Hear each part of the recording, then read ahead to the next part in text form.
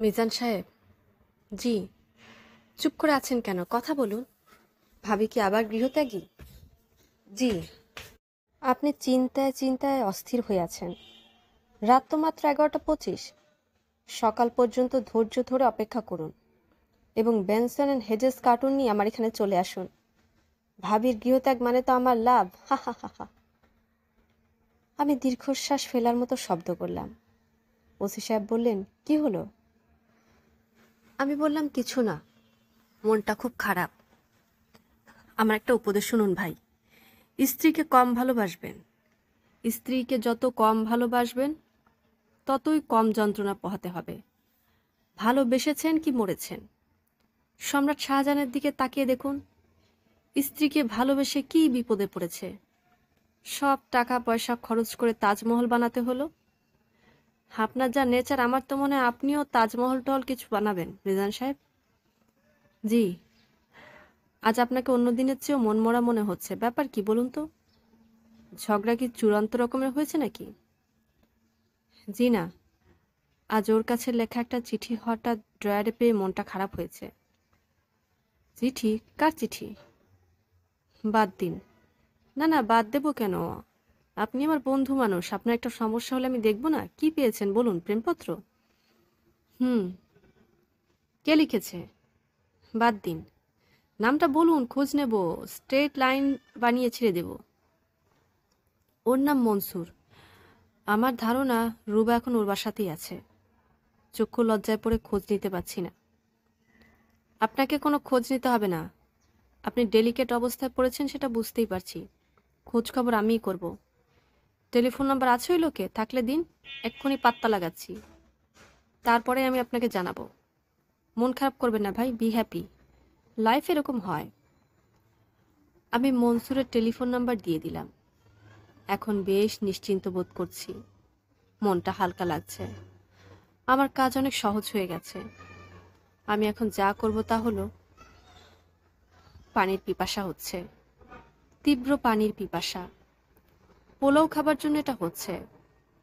পানির পিপাসার একটা ব্যাপার হচ্ছে, এটা আস্তে আস্তে হয় না। হঠাৎ পিপাসা শুরু হয়। আমি ফ্রিজ খুলে পরপর দু গ্লাস পানি খেলাম।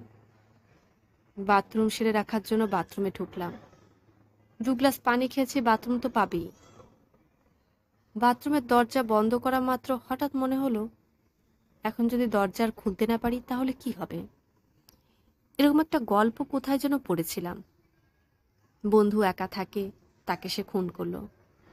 খুনের পরপর তার খুব পিপাসা পেয়ে গেল। সে পুরো এক জগ পানি খেয়ে ফেলল। পানি খাওয়ার পরপর ঢুকলো বাথরুমে। দরজা বন্ধ করে বাথরুম সারল। তারপর আর বাথরুমের দরজা খুলতে পারছে না। ছিটকিনি শক্ত হয়ে এঁটে গেছে। প্রাণপণ শক্তি দিয়েও সে কিছুতেই কিছু করতে পারছে না। পরদিন পুলিশ এসে দরজা খুলে তাকে বের করল। অতি প্রাকৃত কোনো ব্যাপারের মধ্যে ছিল না। পুরো ব্যাপারটাই ছিল সাধারণ একটা ব্যাপার। খুনির শরীর দুর্বল হয়ে গিয়েছিল। মাংসপেশি হয়েছিল শিথিল। শিথিল মাংসপেশি নিয়ে সে ছিটকিনি খুলতে পারছিল না। যতই সময় যাচ্ছিল, ততই তার শরীর আরও দুর্বল হয়ে পড়ছিল। এর বেশি কিছু না। আরেকটা গল্প শুনেছিলাম, এক লোক গরু বিক্রি করে ফিরছে। পথে এসার নামাজের সময় হলো। সে নামাজ পড়তে ঢুকলো এক গ্রামের মসজিদে। তাকে অনুসরণ করেছিল এক চোর। সেও সঙ্গে সঙ্গে মসজিদে ঢুকলো। মুসল্লিরা নামাজ শেষ করে চলে গেছেন। সে একা একাই নামাজে দাঁড়াল। তখন চোরটা তাকে জাপটে ধরলো টাকা নেবার জন্য। দুইজনে ধস্তাধস্তি হচ্ছে। চোরটা এক পর্যায়ে ছুরি বসিয়ে দিল, সঙ্গে সঙ্গে মৃত্যু। চোরটা গরু বিক্রির টাকাটা নিয়ে নিল। তারপরে হলো সমস্যা। চোর সারা মসজিদে ছোটাছুটি করছে। দরজা খুঁজে পাচ্ছে না। ব্যাকুল হয়ে এসে ঘুরছে আর চেঁচাচ্ছে, দরজা কই দরজা কই? পুরো সাইকোলজিক্যাল একটা ব্যাপার। এর মতো অতি প্রাকৃত কিছু নেই। ভূমিকম্পের সময় এরকম হয়। আতঙ্কগ্রস্ত মানুষ ঘরের ভেতর ছোটাছুটি করে দরজা খুঁজে পায় না। আগুন লাগলেও এমন হয়। আমার মেজ মামার বাড়িতে একবার আগুন লাগল। ঘুম ভেঙেই তিনি দেখলেন, দাও দাও করে আগুন। তিনি ছোটাছুটি করতে লাগলেন এবং চেঁচাতে লাগলেন, দরজা পাইতেছি না, দরজা, আমি বাথরুম সারলাম। চোখে মুখে পানি খানিকটা দিলাম। ছিটকিনি খুলতে আমার বেগ পেতে হলো না। বাথরুমের বাইরে এসে স্বস্তির নিঃশ্বাস ফেললাম। আর তখন শোবার ঘর থেকে ধপ করে শব্দ হলো। এর মানে কি? কানে ভুল শুনছি? ধপ করে শব্দ হবার কি আছে? চেয়ার টানার শব্দ হচ্ছে। কে যেন চেয়ার টানছে। মেঝের উপর চেয়ার টানার ক্যাচ ক্যাচ শব্দ। কে চেয়ার টানবে? আমি শোবার ঘরে শুয়ে পড়লাম। কোনো দুর্বলতাকে প্রশ্রয় দেওয়া যাবে না। ভয় পাওয়া যাবে না কিছুতেই না। ভয় এমন বস্তু যে একবার ভয় পেলেই তা ফুলে ফেপে বাড়তে থাকে। আমি শোবার ঘরে ঢোকার সঙ্গে সঙ্গে টেলিফোন বেজে ওঠে। আমি রিসিভার কানে তুলে বললাম, হ্যালো?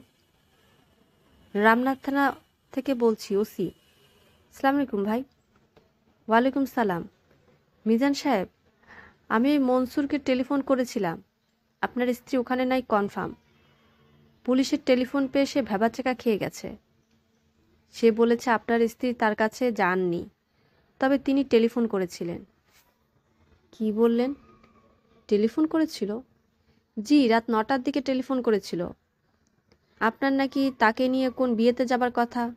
আপনি তাকে ফেলে চলে গেছেন, এই নিয়ে দুঃখ করছিলেন। ও, কাজে আপনি কোনো রকম দুশ্চিন্তা করবেন না, শুনুন ভাই। আমি মনসুর বেটাকে আন্ডার অবজারভেশনে রাখব। লাইফ হেল করে দিব, কোনো চিন্তা করবেন না। তার কথা শুনতে শুনতে নিজের অজান্তে আমি খাটের দিকে তাকালাম। আমি এটা কি দেখছি? রুবা শুয়ে নেই, সে বসে আছে। কুকুর যেমন থাবা গেড়ে বসে থাকে, ঠিক সেও সেরকম থাবা গেড়ে বসে আছে। তবে তাকিয়ে আছে খোলা দরজার দিকে। আমার দিকে না। ব্যাপারটা এতই অস্বাভাবিক যে কিছুক্ষণ আমার মধ্যে কোনো পরিবর্তন হলো না। আমি শুধু তাকিয়েই রইলাম। একসময় দৃশ্যর অস্বাভাবিকতা আমার মাথায় ঢুকলো। ঝনঝন একটা শব্দ হলো। দেখি টেলিফোন রিসিভার আমার হাত থেকে পড়ে গেছে। টেলিফোন রিসিভার থেকে শব্দ আসছে, হ্যালো হ্যালো হ্যালো। ক্ষীণ আওয়াজে যেন অনেক দূর থেকে কেউ ডাকছে। আমি টেলিফোনের কানেকশন খুলে ফেললাম। টেলিফোন কানেকশন খুলতে যতটা সময় লাগানো উচিত, তার চেয়েও বেশি সময় লাগালাম। যেন টেলিফোন কানেকশন খোলা এই মুহূর্তে সবচেয়ে জরুরি কাজ। এটাই একমাত্র সত্যি আর সব মিথ্যা। কিছুক্ষণ চোখ বন্ধ করে থাকলে কেমন হয়? চোখ রেস্ট পাক। রেস্ট পেলে সব স্বাভাবিক হবে। তখন দেখা যাবে কেউ কুকুরের মতো থাবা গেড়ে দরজার দিকে তাকিয়ে বসে নেই। সবই ভ্রান্তি। কিন্তু চোখ বন্ধ করার মতো সাহসও পাচ্ছি না। মনে হচ্ছে একবার যদি চোখ বন্ধ করি তাহলে আর চোখ খুলতে পারব না। কিংবা খুললেও সেই চোখে কিছুই দেখব না। এসব হচ্ছে দুর্বল মনের কল্পনা। দুর্বল মনের কোনো কল্পনাকেই প্রশ্রয় দেওয়া ঠিক হবে না। এখন মন শক্ত করতে হবে। অনেক কাজ বাকি আছে। আসল কাজই বাকি। এতক্ষণ যা করেছি সব নকল কাজ। ডেড বডি সরাতে হবে। দ্রুত সরাতে হবে। এমনভাবে সরাতে হবে যেন কেউ এর কোনো খোঁজ না পায়। ডেড বডি পাওয়া না গেলে খুনের মামলা দাঁড় হয় না। খুন হয়েছে কি না তা জানার প্রথম শর্ত হলো ডেড বডি। সুরতহাল হবে, ডাক্তাররা বলবেন খুন, তবেই না মামলা চালু হবে। ডেড বডি সামলানোর প্রচলিত যে কটি পদ্ধতি আছে, তার সব কটিতে গণ্ডগোল আছে। একটাও ফুলপ্রুফ নয়। লোকজন কি করে বস্তায় ভরে নদীতে ফেলে দেয়? দুদিন না যেতেই বস্তা ভেসে ওঠে। উৎসাহে লোকজন ছুটে আসে বস্তা খোলা হয়। পত্রিকার রিপোর্টের পর রিপোর্ট বের হতে থাকে। আরেকটি পদ্ধতি হচ্ছে মাটি খুঁড়ে মাটি চাপা দেওয়া। পদ্ধতিটা খারাপ না, তবে এই জন্য গর্ত গভীর হতে হবে। মাটি চাপা দেবার এমন ব্যবস্থা করতে হবে যাতে কেউ বুঝতে না পারে যে মাটি চাপা দেওয়া হয়েছে। যা অসম্ভব কঠিন কাজ। আমার পদ্ধতি ভিন্ন। সহজভাবে পদ্ধতিটা হলো ডিসপারশন পদ্ধতি। টুকরো টুকরো করে বড় একটা অঞ্চলে ছড়িয়ে দেওয়া। যত ক্ষুদ্র টুকরো হবে এবং যত বেশি ছড়ানো যাবে, তত দ্রুত হত্যার প্রধান আলামত মৃতদেহ উড়ে যাবে। কোনো টুকরো কুকুরে খাবে, কোনোটা খাবে কাক।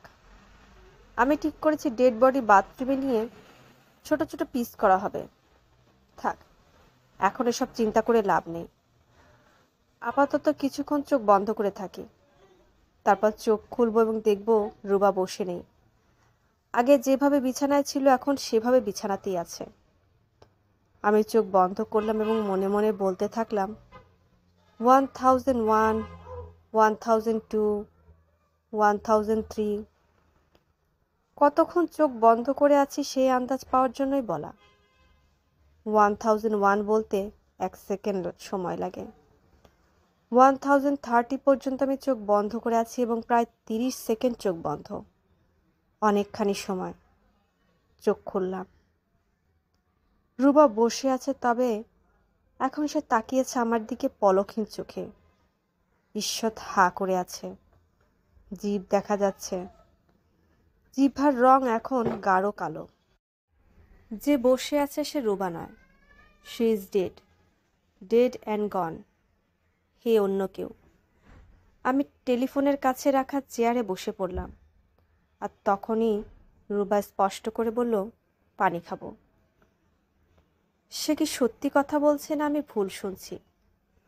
অডিটরি হেলুসিনেশন আমার বোধহয় মাথা জট পাকিয়ে গেছে। সে আবারও বলল, পানি খাব। আমি লক্ষ্য করলাম কথাগুলি বলার সময় তার ঠোঁট নড়ল না, জিব্বা নড়ল না। গলার স্বর রুবার মতোই, তবে অস্পষ্ট জড়ানো। আমি বললাম, পানি খাবে?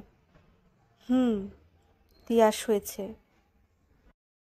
রুবাই কথা বলছে। তিয়াস শব্দটা রুবার শব্দ। এটা রুবা বলে। আমি কি করব, পানি এনে দেব? আমার পক্ষে আমার হাস্যকর কিছু করা কি সম্ভব? আমি পানি এনে দিচ্ছি একটা মৃতদেহকে। আমি নিঃশ্বাস ফেলে বললাম, রুবা, হুম, তুমি বেঁচে নেই, তুমি মারা গেছো। You are dead dead like a stone পানি খাব। তুমি আমার কথা বুঝতে পারছ? আমি তো ওকে মেরে ফেলেছি। ও, তুমি শুয়েছিলে। আমি একটা বালিশ এনে তোমার মুখের উপর চেপে ধরেছি। ও, তুমি যে মারা গেছো তা কি বুঝতে পারছ? পানি। পানি? আমি তোমাকে এনে দেব। তুমি ভেবো না আমি তোমাকে দেখে আতঙ্কে অস্থির হয়েছি। আমার ভয় খুব কম। অন্য যে কেউ ওই অবস্থায় হার্ট ফেল করে মরে যেত। আমি মরিনি এবং আমি তোমার সঙ্গে কথা বলছি। আমি কি বলছি বুঝতে পারছ? বুঝতে পারলে মাথা নাড়াও। রুবা মাথা নাড়ল না। যেভাবে বসেছিল, সেভাবেই বসে রইল।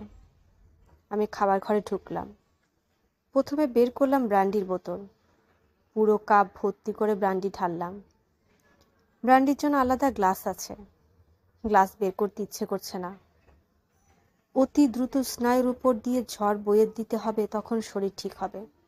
সব ফিরে যাবে আগের জায়গায়। Back to the pavilion. কাপের উপর পিঁপড়া ভাসছে। ভাসুক। পিঁপড়া খাওয়া ভালো। পিঁপড়া খেলে সাঁতার শেখা যায়। আচ্ছা আমি কি সাঁতার জানি? সাঁতার জানি কি জানি না, অনেক ভেবেও মনে করতে পারলাম না। তার মানে আমার মস্তিষ্ক কাজ করছে না। মুখ ভর্তি ব্র্যান্ডি নিয়ে গিলে ফেললাম। জিবা, নাড়ি, ভুঁড়ি জ্বলতে লাগল। জ্বলুক, জ্বলে ছাই হয়ে যাক। হ্যাঁ এই, রুবা ডাকছে। পানি খেতে চায়। তাকে পানি খেতে দেব না এক কাপ ব্র্যান্ডি দেব। কেউ পানি চাইলে নিষেধ করতে নেই। কেউ পানি চাইলে তাকে পানি দিতে হয়। পানি না দিলে রোজ হাসরের ময়দানে তখন তৃষ্ণায় গলা শুকিয়ে যাবে। তখন পানি পাওয়া যাবে না। এই কথা বলতেন আমার মা। কোনো ফিকিরি পানি চাইলে আমার মা অতি ব্যস্ত হয়ে বলতেন, মিজান হো মিজান বাবধান পানি নিয়ে আয়। টিনের মধ্যে টোস্ট বিস্কুট আছে। বিস্কুট দিয়ে পানি দে। ভিকিরিদের পানি খাওয়ানোর জন্য আমাদের বড় একটা অ্যালুমিনিয়ামের গ্লাস ছিল। মাসের প্রথমে বড় একটা টিন ভর্তি টোস্ট বিস্কিট কিনে রাখা হতো। অন্য বিস্কিটগুলো নরম হয়ে যায়। টোস্ট বিস্কিট কখনো নরম হয় না। যতই দিন যায়, ততই শক্ত হতে থাকে। শক্ত হতে হতে একসময় লোহার মতো শক্ত হয়ে যায়। একবার এক ভিকিরি ভিক্ষা চাইতে এসেছে। আমি যথারীতি তাকে এক গ্লাস পানি এবং একটা টোস্ট বিস্কিট দিলাম। সেই বুড়ো ভিকিরি বিস্কিট দেখে আনন্দ অভিভূত হলো। আমি দেখলাম, সে পানিতে বিস্কিট ভিজিয়ে খাওয়ার চেষ্টা করছে। লোকে চায়ে বিস্কিট ভিজিয়ে খায়, সে খাচ্ছে পানিতে ভিজিয়ে। কিন্তু বিস্কিট নরম হচ্ছে না। আমার মা দিনের পর দিন ভিকিরিদের পানি খাইয়ে গেলেন। নিজে মৃত্যুর সময় পানি খেতে পারলেন না। তার জলাতঙ্ক হয়েছিল। কুকুর তাকে কামড়ায়নি, শুধু আদর করে আচর দিয়েছিল। এই কুকুর ছিল মায়ের পোষা। দুপুরের দিকে বাসায় এসে দরজা ধাক্কাত। মা একটা টিনের থালায় ভাত মাছ দিয়ে বলতেন, ধর, খা। সে ভাত মাছ খেয়ে আরাম করে খানিকক্ষণ ঘুমিয়ে বিদায় হতো। অসুস্থ হবার পর কুকুরটা এলো চোখ লাল করে। কি ভয়ঙ্কর চেহারা। মা বললেন, এই এই তোর কি হয়েছে রে? তুই এরকম করছিস কেন? কুকুর ঘর ঘর আওয়াজ করল। সেই আওয়াজও ভয়াবহ। মা কিছুতেই বুঝতে পারলেন না। নিজেই টিনের থালায় ভাত বেড়ে দিলেন। কুকুর খাবারে মুখ দিল না। ঝাঁপ দিয়ে মার কোলে উঠে তাকে আছড়ে দিল। মা বিরক্ত গলায় বললেন, করে কি করে কি? তিনি ছিছি করে উঠে গেলেন। অবেলায় গোসল করলেন। সন্ধ্যার দিকে তার অল্প জ্বর হলো। পরদিন দিব্যি ভালো। তখনও তিনি জানেন না, তার শরীরে ভয়ঙ্কর বিষ ঢুকে গেছে। যখন জানা গেল তখন করার কিছুই ছিল না। মৃত্যুর সময় তাকে স্টোর রুমে তালা বন্ধ করে রাখা হতো। স্টোর রুমের একটা জানালা, সেই জানালায় শিক বসানো। মা দু হাতে শিক চেপে ধরে শ্লেষ্মা জড়ানো ভারী গলায় চিৎকার করতেন, পানি পানি। রুবা পানি পানি বলছে। তার গলার স্বরটাও কি ভারী শোনাচ্ছে না? শ্লেষ্মা জড়ানো মনে হচ্ছে না? নাকি আবারও শোনার ভুল? মার কথাই বা এখন মনে পড়ল কেন? আমি মার কথা মনে করতেই চাই না, মনে করিও না। এটা কি ব্রান্ডি খাওয়ার জন্য হয়েছে? মাথা ঝিমঝিম করছে, শরীর হালকা এতটা ব্রান্ডি একসঙ্গে খাওয়া ঠিক হয়নি। ভুল হয়েছে। একটা ভুল যদি কেউ করে, তাহলে সঙ্গে সঙ্গে সে আরও তিনটা ভুল করে। ভুল একা চলে না। সে চলে সঙ্গী সাথী নিয়ে। আমি এখন পরপর কয়েকটা ভুল করব। সেই ভুলগুলো কি কি? শোবার ঘর থেকে আবার শব্দ হলো, পানি পানি। আমি গ্লাস ভর্তি করে পানি নিলাম। রুবার নিজের গ্লাসেই নিলাম। সে অন্যের গ্লাসে পানি খেতে পারে না। এখন সে বেঁচে নেই। সে সে কি বলতে চাচ্ছি বুঝতে পারছি না। মৃত মানুষের জন্য পানি নিয়ে যাচ্ছি, এটা কি দ্বিতীয় ভুল না? আচ্ছা আমি একজন মৃত মানুষের জন্য পানি নিয়ে যাচ্ছি কেন?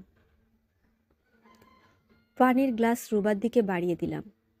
সে হাত বাড়িয়েছে কিন্তু গ্লাস ধরতে পারছে না। তার আঙুল কাঁপছে। আমি বিছানার পাশে সাইড টেবিলে গ্লাস নামিয়ে রাখলাম। সে পারলে টেবিল থেকে গ্লাস নেবে, না পারলে নেবে না। আমার পানি দেবার কথা আমি দিয়েছি, বাকিটা তার ব্যাপার।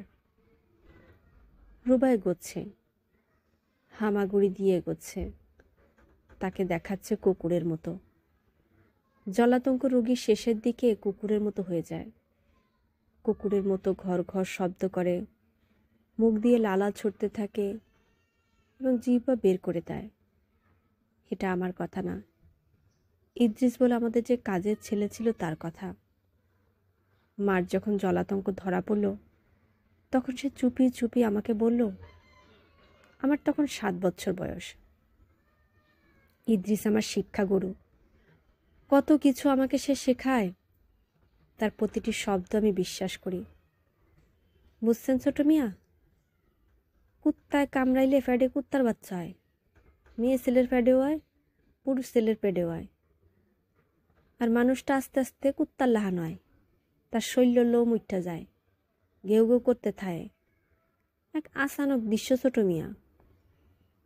তুমি দেখেছ? কত দেখলাম, এখন তুমিও দেখবা। স্টোর রুমের আশেপাশে আমাদের যাওয়া নিষেধ ছিল। তারপরেও মাঝে মাঝে উকি দিতাম, মা, কতটা কুকুর হয়েছেন দেখার জন্য। মা আমাকে চিনতে পারতেন না। কাউকেই পারতেন না, শুধু আমার বড় বোনকে চিনতেন। বড় বোনকে দেখলেই বলতেন, মিনা, বাতাস বাতাস।